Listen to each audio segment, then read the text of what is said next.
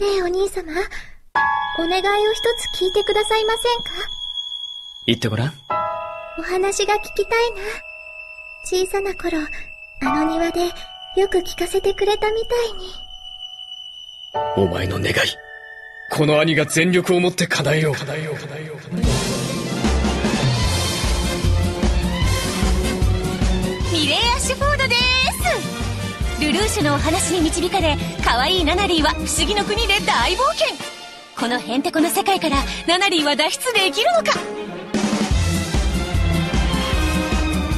コードギアスのキャラクターが縦横無尽に駆け回るファンタジックアドベンチャー。ナナリー in Wonderland。素敵な絵本とセットでブルーレイと DVD 発売です。